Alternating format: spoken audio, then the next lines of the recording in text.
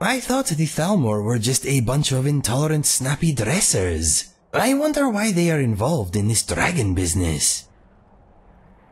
It was quite a climb getting here. Maybe we should just slide back down.